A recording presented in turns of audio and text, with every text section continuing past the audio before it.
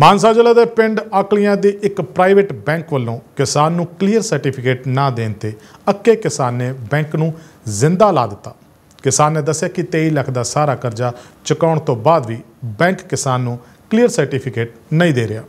ਮਾਨਸਾ ਜ਼ਿਲ੍ਹੇ ਦੇ ਪਿੰਡ ਆਕਲੀਆਂ ਦੀ ਇੱਕ ਪ੍ਰਾਈਵੇਟ ਬੈਂਕ ਵਿੱਚ ਬਲਵੀਰ ਸਿੰਘ ਨਾਮੀ ਕਿਸਾਨ ਵੱਲੋਂ ਲਈ ਸਾਰੀ ਕਰਜ਼ੇ ਦੀ ਰਕਮ ਵਿਆਜ ਸਮੇਤ 24 ਲੱਖ ਜਮ੍ਹਾਂ ਕਰਵਾਉਣ ਦੇ ਬਾਵਜੂਦ ਵੀ ਕਲੀਅਰ ਸਰਟੀਫਿਕੇਟ ਦੇਣ ਤੋਂ ਇਨਕਾਰ ਕਰ ਦਿੱਤਾ।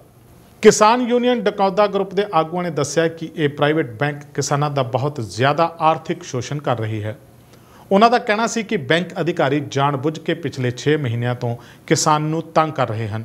ਕਿਸਾਨ ਆਗੂਆਂ ਨੇ ਚੇਤਾਵਨੀ ਦਿੰਦਿਆਂ ਕਿਹਾ ਕਿ ਜਦੋਂ ਤੱਕ ਪੀੜਿਤ ਕਿਸਾਨ ਬਲਵੀਰ ਸਿੰਘ ਨੂੰ ਇਨਸਾਫ ਨਹੀਂ ਮਿਲਦਾ, ਉਹ ਬੈਂਕ ਮੁਲਾਜ਼ਮਾਂ ਨੂੰ ਬਾਹਰ ਨਹੀਂ ਜਾਣ ਦੇਣਗੇ। 5 ਤਰੀਕ ਤੋਂ ਜਿਹੜੀ ਕੋਟਕ ਮਹਿੰਦਰਾ, ਇਹ ਪ੍ਰਾਈਵੇਟ ਬੈਂਕ ਹੈ, ਇਹਦੇ ਨਾਲ ਅਕਲੀਏ ਪਿੰਡ ਦੇ ਕਿਸਾਨ ਬਲਵੀਰ ਸਿੰਘ ਦਾ ਧੋਖਾਦੇਹੀ ਕੀਤੀ ਹੈ ਬੈਂਕ ਨੇ, ਕਿਉਂਕਿ ਉਸ ਨੇ ਇਸ ਤੋਂ ਲਿਮਟ ਭਰਾਈ ਸੀ। 2013 ਤੋਂ ਲੈ ਕੇ ਉਹ ਲਗਾਤਾਰ ਆਪਣਾ ਵਿਆਜ ਸਮੇਤ ਕਿਸ਼ਤਾਂ ਜਿਹੜੀਆਂ ਉਹ ਬੈਂਕ ਦੀਆਂ ਮੋੜਦਾ ਆ ਰਿਹਾ ਸੀ। ਆਖਰ ਨੂੰ ਆ ਕੇ 23 ਲੱਖ 25 ਹਜ਼ਾਰ ਵਿੱਚ ਬੈਂਕ ਨੇ ਇਸ ਨੂੰ ਕਲੀਅਰ ਸਰਟੀਫਿਕੇਟ ਦੇਣ ਵਾਸਤੇ ਕਿਹਾ। ਤਾਂ ਇਸ ਕਿਸਾਨ ਨੇ ਆਪਣੀ ਜ਼ਮੀਨ ਵੇਚ ਕੇ 23 ਲੱਖ 25 ਹਜ਼ਾਰ ਇਹਨਾਂ ਦੇ ਹੋਏ ਐਗਰੀਮੈਂਟ ਮੁਤਾਬਕ ਸਾਰੇ ਦੇ ਸਾਰੇ ਪੈਸੇ ਬੈਂਕ ਦੇ ਅਦਾ ਕਰਤੇ। ਪਰ ਉਸ ਤੋਂ ਬਾਅਦ ਕਲੀਅਰ ਸਰਟੀਫਿਕੇਟ ਦੇਣ ਵਾਸਤੇ ਹਾਂ ਕਰਨ ਤੋਂ ਬਾਅਦ ਇਹਨਾਂ ਨੇ 20 ਦਿਨ ਦਾ ਸਮਾਂ ਲਿਆ। ਉਸ ਤੋਂ ਬਾਅਦ ਅੱਜ 6 ਮਹੀਨੇ ਹੋ ਗਏ। ਅਜੇ ਤੱਕ ਇਹ ਉਸ ਕਿਸਾਨ ਨੂੰ ਜ਼ਮੀਨ ਫੱਕ ਕਰਾਉਣ ਵਾਸਤੇ ਕਲੀਅਰ ਸਰਟੀਫਿਕੇਟ ਨਹੀਂ ਦੇ ਰਹੇ।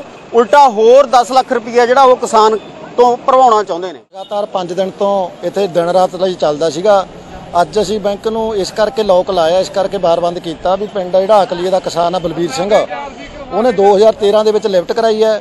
ਲਗਾਤਾਰ 18 ਤੱਕ ਚੱਲਦੀ ਆਈ ਹੈ। ਉਹਨੇ 14 15000 ਜਿਹੜਾ ਲਗਾਤਾਰ ਵਿਆਜ ਇਹਦਾ ਭਰਤਾ। ਉਸ ਤੋਂ ਬਾਅਦ ਇਹਨੇ ਕੈਪਰੋਮਾਈਜ਼ ਕਰਿਆ ਵੀ 23 ਲੱਖ 25000 ਰੁਪਇਆ ਭਰ ਦਿਓ ਕਲੀਅਰ ਸਰਟੀਫਿਕੇਟ 20 ਦਿਨਾਂ ਨੂੰ ਦੇ ਦਾਂਗੇ। ਉਸ ਨੂੰ 6 ਮਹੀਨੇ ਹੋ ਗਏ ਆ, ਹਜੇ ਤੱਕ ਕਲੀਅਰ ਸਰਟੀਫਿਕੇਟ ਨਹੀਂ ਦਿੱਤਾ। ਜਦੋਂ ਪਹਿਲਾਂ ਲਾਰੇ ਲਾਈ ਗਏ ਨੇ ਵੀ ਤੂੰ ਗਰੰਟਡ ਬਣਿਆ ਹੋਇਆ, ਉਹਨਾਂ ਤੋਂ ਪੈਸੇ ਭਰਾ। ਉਸ ਬਾਅਦ ਤੋਂ ਲਾਰੇ ਲਾਈ ਗਏ ਨੇ, ਕਹਿੰਦੇ ਹੁਣ ਸਾਡਾ ਚੰਡੀਗੜ੍ਹੋਂ ਜਿਹੜੇ ਵੱਡੇ ਅਫਸਰ ਆ, ਉਹਨਾਂ ਨੇ ਕਹਿਤਾ ਵੀ 10 ਲੱਖ 87000 ਹੋਰ ਭਰੋ। ਕੱਲ ਸਾਡੀ ਪਟਿਆਲੇ ਮੀਟਿੰਗ ਹੋਈ ਹੈ, ਉੱਥੇ ਇਹ ਕਹਿੰਦੇ ਵੀ 6 ਲੱਖ ਰੁਪਇਆ ਭਰ ਦਿਓ। ਅੱਜ ਸਾਨੂੰ ਕਹਿੰਦੇ ਵੀ 3 ਲੱਖ 75000 ਭਰ ਦਿਓ। ਪਰ ਅਸੀਂ ਕਹਿੰਦੇ ਆ ਵੀ ਜਦੋਂ ਜੇ 3 ਲੱਖ 75000 ਉਦੋਂ ਕਿਸਾਨ ਨੂੰ ਹੋਰ ਕਹਿ ਦਿੰਦੇ ਉਹ 23 ਲੱਖ ਕਿਉਂ ਭਰਦਾ 23 ਲੱਖ 25000 ਇਸ ਕਰਕੇ ਸਾਰਾ ਸਾਰ ਉਹਦੇ ਨਾਲ ਠੱਗੀ ਮਾਰੀ। ਮਾਨਸਾ ਤੋਂ ਜਗਦੀਸ਼ ਬਾਂਸਲ ਦੀ ਰਿਪੋਰਟ।